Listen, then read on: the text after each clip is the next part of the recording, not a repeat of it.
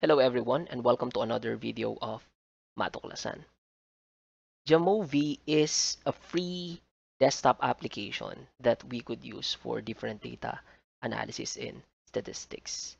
And this application is compatible both with Windows and Mac operating system. So to start the installation process, all you have to do is go to jamovi.org go to their products and choose Jamovi desktop. Yes, we also have an alternative uh, if you're using cloud, but since uh, in this video, we're just going to show the Jamovi desktop application, I'm gonna select this one.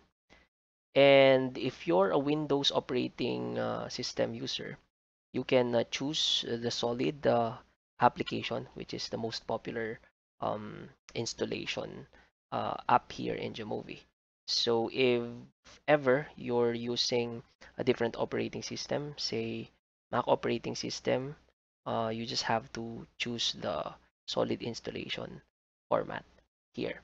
So make sure that you're aware of the version or the operating system version that uh, you're using, if it's 64-bit uh, or 32-bit. Uh, this is, will automatically select uh, the particular operating system for your application. So here, I'm going to select the uh, download for Windows under solid and wait for it to download this file.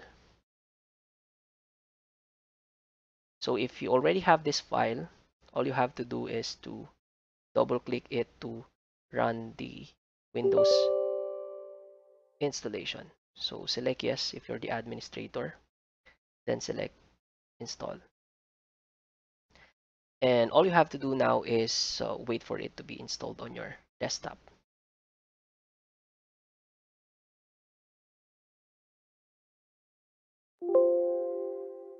Once the installation process is complete, all you have to do is to click finish and you can now use the Jamovi application. You can see the shortcut on your desktop or use the search option of your Windows to look for the application.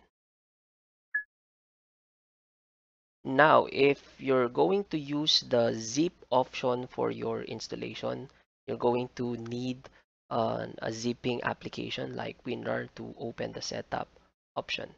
And for you to use the Jamovi, all you have to do is to type Jamovi in the search button of your Windows. Double click to open the Jamovi application.